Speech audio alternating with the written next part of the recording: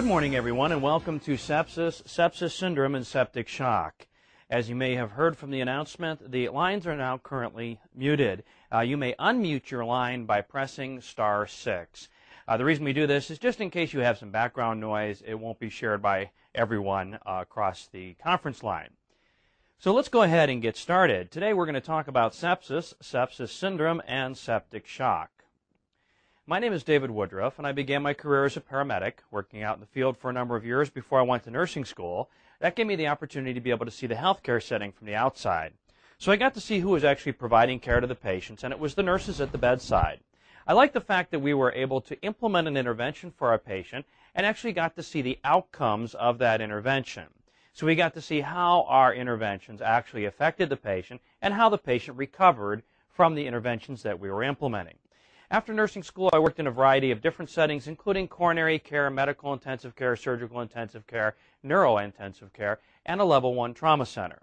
I taught medical surgical nursing for seven years, critical care nursing for three years, and continuing education for the past 11. So I've got a variety of experiences I hope to be able to share with you today as we talk about sepsis, sepsis syndrome, and septic shock. Now, hopefully everybody has received a handout at this point. If not, then give us a call at 800 990 2629 so that we can get the handout to you. Let's go ahead and get started. On the first page in your handout, page number one at the bottom, let's take a look at some of these different organizations that have more information for you to be able to support you in caring for your septic patient. So I have three organizations here that I'm going to show you about first thing as we get started. We'll talk more about them later as we go through the program, and then uh, these are additional places that you can go to get additional information when we're done. By the way, I will unmute the lines at the end of the program so that we can have questions and answers. So feel free to uh, write down your questions or keep them for a little while here until we get to the uh, toward the end of the program, and then I will unmute the lines so that we can have a uh, time for questions and answers.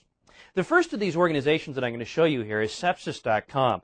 Now, this is a website that was developed by the uh, drug company. I think it's Eli Lilly, and they're obviously the makers of Xigris. Now, sepsis.com has a lot of great information on this website about sepsis. They've got a nice animated cascade for sepsis, etc. So there's a lot of good information on here to help you to learn more about sepsis and septic shock.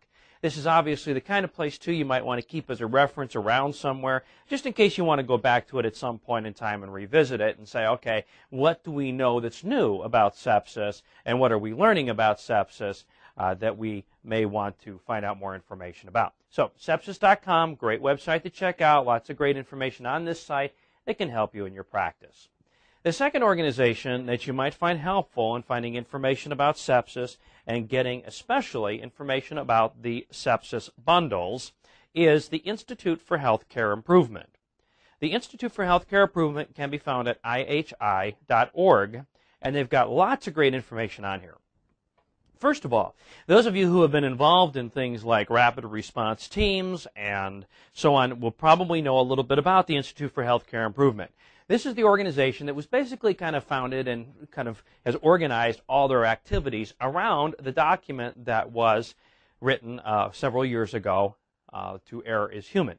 Now, this document was a document by the Institute of Medicine that said that basically there's so many people who are dying needlessly in the hospital because of the care that we're giving to our patients.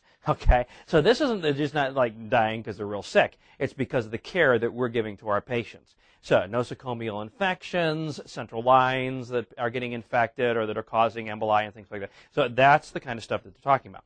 Now, one of the things that they've grabbed onto here too is to be involved in this process of sepsis. How can we improve the care that occurs to our patients who have sepsis. Now, let me just give you uh, some kind of historical background here on where we are with sepsis and sepsis care. These patients, 20, 30 years ago, these patients got septic and died. Okay, we didn't really have a whole lot of options for them. We didn't know how to treat it.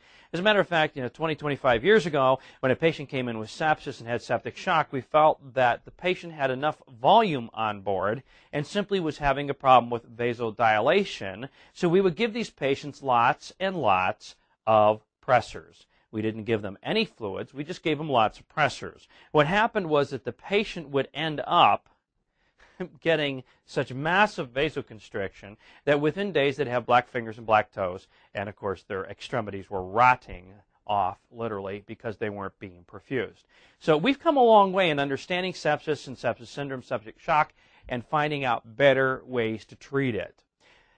ARDS is a result of sepsis, and ARDS used to have a mortality of about 60, that's 60%. ARDS now has a mortality in general, just across the board, of less than 30%. And in some institutions, they have mortality from ARDS at less than 12%. Okay, so these things that we're doing obviously are having a big impact on the outcomes of our patients. So this here, the Institute for Healthcare Improvement, lots of great information on this website. If you want to find out more about rapid response teams, about decreasing central line infections, about decreasing hospital acquired pneumonia, and the new category, which we call healthcare associated pneumonia. So all those kind of things you can find out more information about IHI because they are directly involved in trying to decrease mortality from all of these things. Now, they have sepsis bundles on their website. So you go to your website here, you search for sepsis, you come up with this page here. Lots of great information. If you go over to the left-hand side there and you're looking at the navigational pane, you see how to improve, measures, changes, improvement stories, tools, resources, literature. So a lot of great information available there for you to help you to be able to implement these sepsis bundles and to improve care in your patients who have sepsis. Okay, let's go on to the third organization, which is the Surviving Sepsis Campaign. The Surviving Sepsis Campaign is an organization of the uh, European Society of Critical Care, the International Sepsis Forum, the Society of Critical Care Medicine. So these groups have gotten together and formed this initiative to be able to train people about sepsis and what is the best care for sepsis. So there's a lot of good information on this website. There's also good patient teaching information. So it's primarily designed to help us to teach our patients about sepsis and septic shock, uh, but there's also some good information that you might be able to use in your practice here as well. So these are three organizations you might want to come back to to gain more information, get more insight into what is going on, and to keep, kind of keep your finger on the pulse of sepsis and what's changing in septic care. All right, let's flip over to page two then and talk about this whole process that we call sepsis syndrome. Sepsis syndrome is this whole process of sepsis, septic shock, etc. So now we, you may have heard these terms and you may have heard them thrown around before and thinking, geez, well, what is this whole thing? You know, I've heard of patients being septic. I've heard of patients having septic shock. What is sepsis syndrome? And where on earth does multi-organ dysfunction fit into this whole thing? All right, well, what's happening here is this continuum that you see illustrated in your handout. What it's illustrating is over on the left-hand side, we have some kind of initiating factor. For example, infection, injury, or ischemia. This is what's causing the process that we call sepsis. So your patient who's admitted to your floor with a urinary tract infection and urosepsis. Now, what that means is that either bacteria or a bacterial toxin got out of the bloodstream, I'm sorry, got out of that, that urinary tract and into the bloodstream. So, bacteria, bacterial toxin got out of the urinary tract into the bloodstream and is now circulating around the bloodstream, which now, moving over a little bit more in our diagram, leads us to this thing called severe sepsis. Now, severe sepsis, septic shock, and multi-organ dysfunction, that's the MODS port part there over on the right. Okay, those things are the result of the systemic inflammatory response. So notice in your diagram in the middle it says SIRS. SIRS stands for Systemic Inflammatory Response Syndrome. Systemic Inflammatory Response Syndrome. Okay, now what is that? Systemic Inflammatory Response